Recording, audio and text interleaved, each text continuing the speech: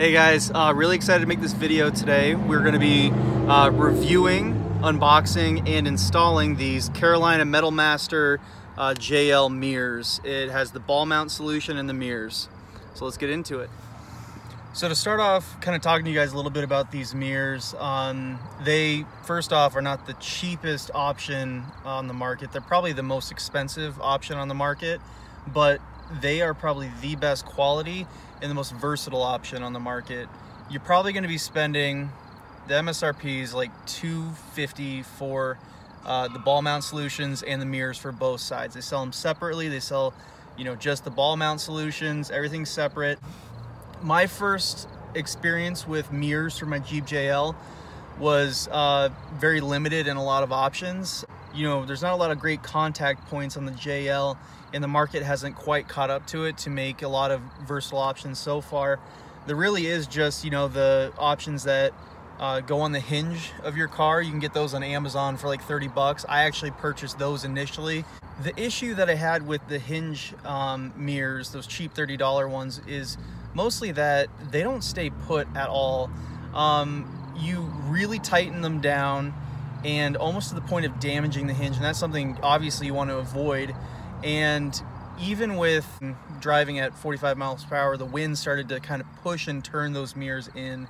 And I noticed that you know I wasn't even I actually didn't even want to take it on the highway for that fact. I was just driving around town and they started to turn in they would vibrate um, and overall was just you know a bad solution. And you know they didn't look the best. So um, I transitioned I wanted to transition to these and make this purchase. It was a big purchase um, for a couple reasons because uh, I noticed that these mirrors are very um, easy to put on and take off. Basically the ball mount solution is something that you permanently fix to the oh shit handle um, well, I mean, of course you can unscrew it and replace it with the old cap, but it's something that you leave in place. Um, and then the mirror, this arm, you just unscrew and pull off. You'll see that in the installation that we're gonna go through.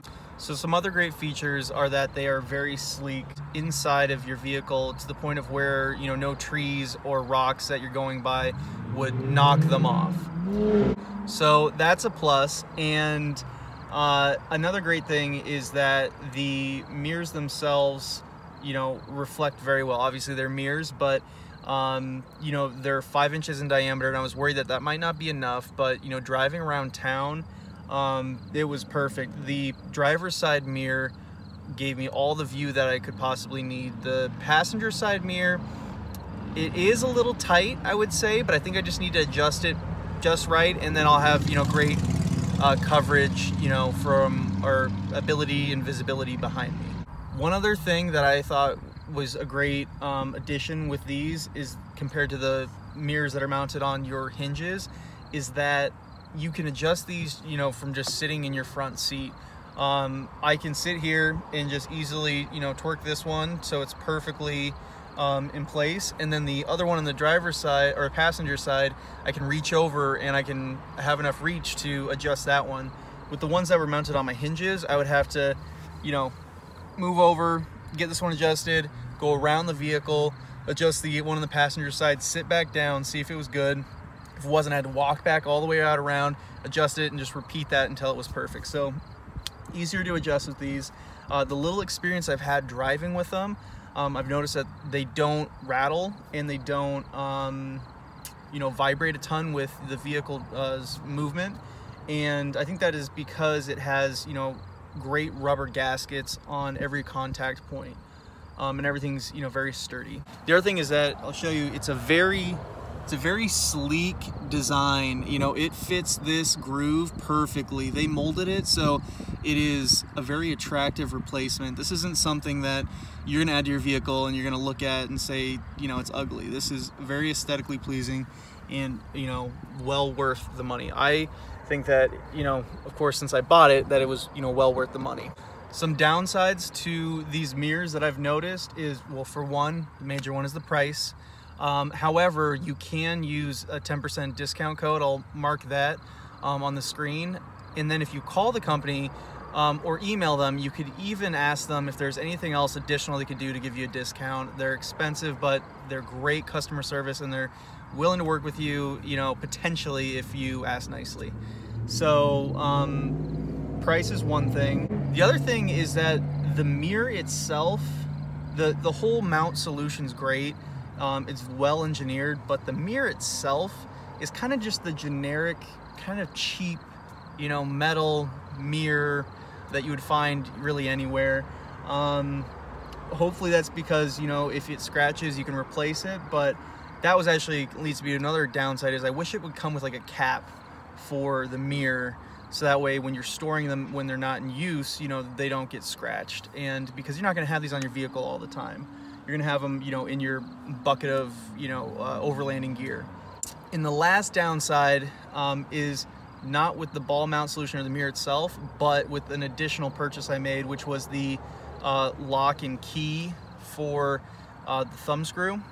It's really not that great because it's supposed to be tamper proof, but you can see that it's it's still a, if I can get a good angle on this, it's still a it's still a thumb screw. So no matter how much you tighten this down, um, I feel like I could still, with enough effort, pull this, you know, unscrew this thing because it's a thumb screw. It would be nice if it was just set inside of the ball mount solution so that way um, potential theft wouldn't even have the opportunity of removing it.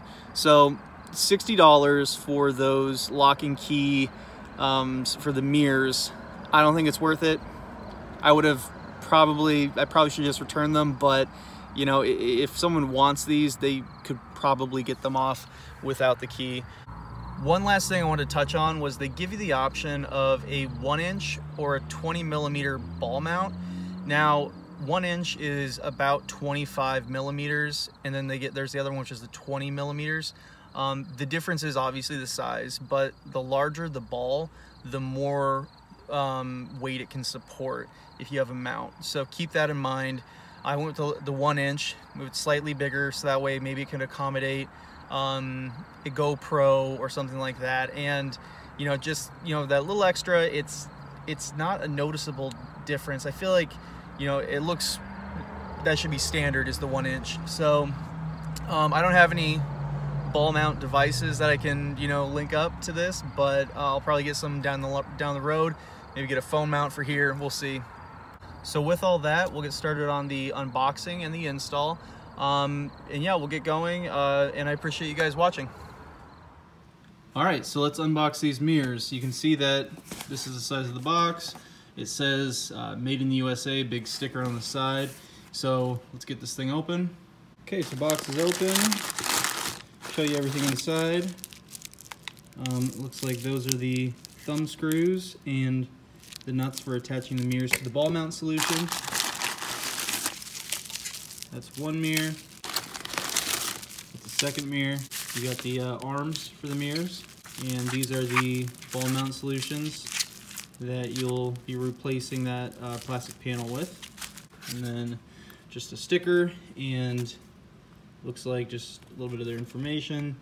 All right, let's take a closer look at some of the components. I took them all out of the bubble wrap, and I'm actually gonna keep the bubble wrap because they come in these like nice little bubble wrap pouches, at least the mirrors do, and some of the other components. And I'm gonna hold on to these, probably put them away when I'm not using them in here, and then um, use a t-shirt to wrap them up or something in store. But yeah, it would be nice if there was an actual storage bag. So that aside, um, first thing we'll look at, this is the actual ball mount solution you can see that it's all black. The ball mount itself is kind of a, uh, shiny, whereas this is a matte coat. And everything's really nicely put together. You can see their logo right there. This looks very well made, very sleek. So that's the ball mount solution. Um, this is one of the arms for the mirrors. Again, you can see it's that textured matte black finish. This measures out to be nine inches almost exactly.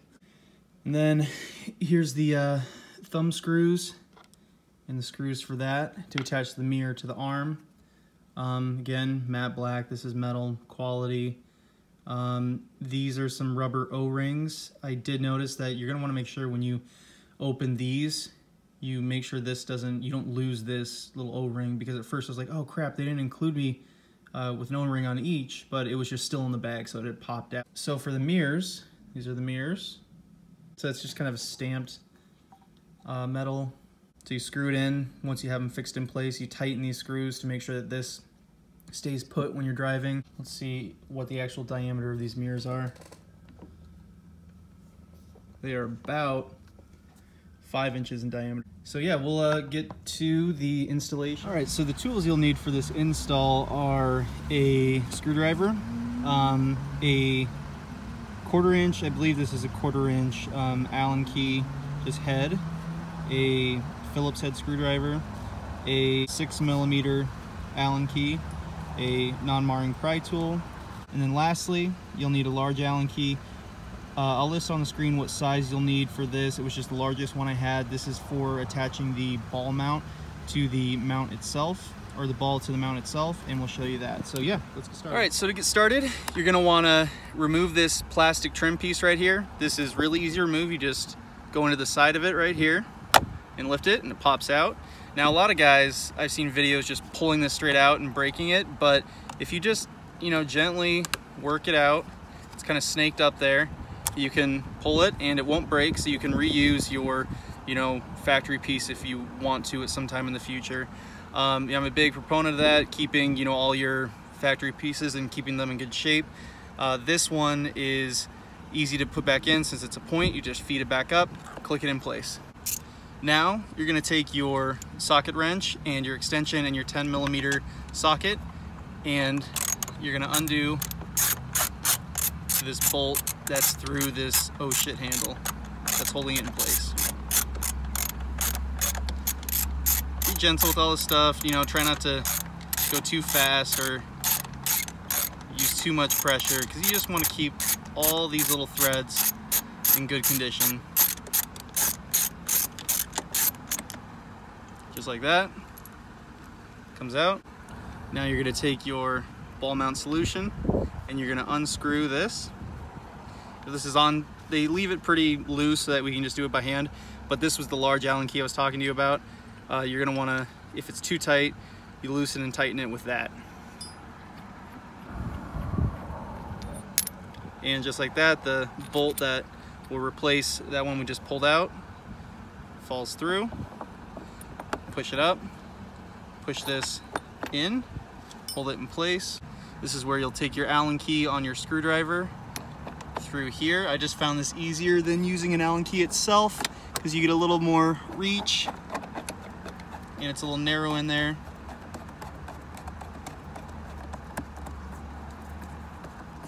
Now you don't want to over tighten any of this, so just nice and snug like that. We'll clean that up later. You're gonna replace the ball.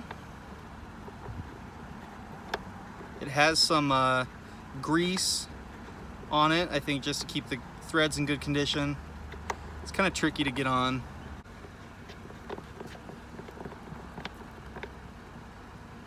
Finger tight, and then cinch it down. You don't want to over tighten this, but you know, just enough to prevent theft.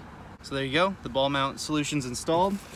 Now we'll install the arm and it just goes through one side right there. I'm gonna keep this hole pointed directly out because that's where the mirror will go. And you'll put your thumb screw on this side. I purchased the $60 um, anti-theft thumb screw because you don't want you know someone just to make off with your mirrors. But same concept, you just screw it on like you would with your thumb, thumb screw,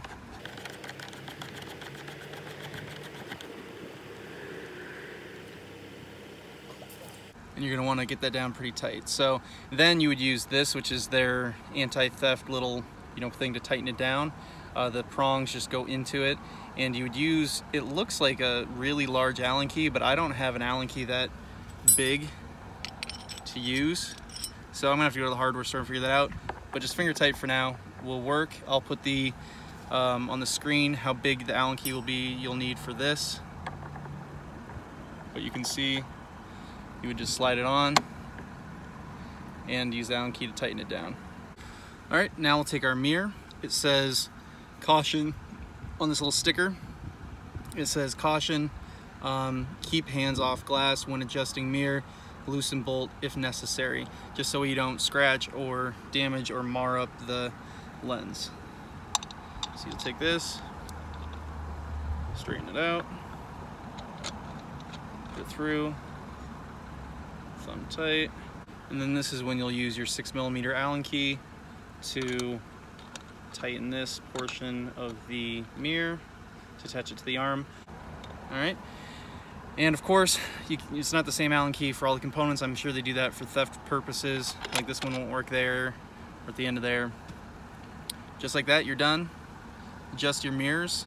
Once you have your mirrors adjusted, you'll take your Phillips head screwdriver and tighten down those three so that way they stay fixed in place when the wind's hitting it. This is just kind of a walk around of what it looks like.